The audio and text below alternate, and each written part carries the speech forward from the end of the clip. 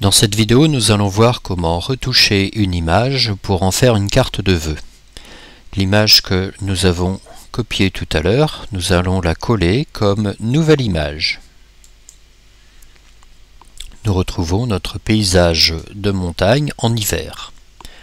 Nous allons choisir l'outil texte pour écrire « Bonne année » ici sur une zone relativement claire. Bonne année 2013. Ici, je peux régler la taille de la police. Je peux la réduire par exemple à 50 et en faisant entrer. Je peux également choisir une autre couleur en prenant euh, par exemple euh, avec la pipette ici une couleur du paysage en faisant valider. Et au niveau de la transparence, je peux choisir euh, une fusion de calque en mode dissoudre, par exemple, hein, pour donner un effet de neige à mon cadre bonne année. Je peux augmenter le texte en choisissant cet outil de mise à l'échelle. Vous voyez, ça va me permettre d'agrandir. Je clique sur échelle. Voilà le message. Il ne me reste plus qu'à exporter cette image au format PNG qui est un format qui permet de gérer la transparence des calques.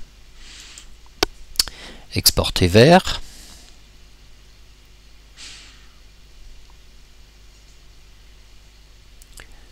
Je vais me mettre sur le bureau, je vais écrire bonne année.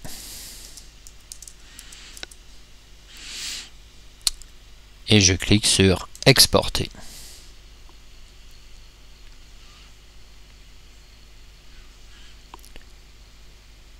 Je confirme en cliquant sur exporter.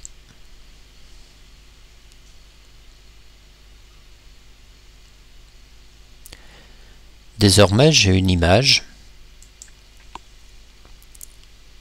qui s'appelle Bonne année, qui apparaît ici sur le bureau et que je peux afficher dans ma visionneuse d'images.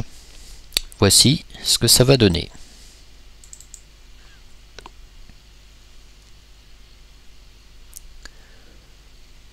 Nous obtenons notre image de bonne année avec notre message. Nous pourrons maintenant envoyer cette petite carte de vœux dans le logiciel avec le logiciel de messagerie hein, pour adresser nos vœux à ceux que nous aimons bien.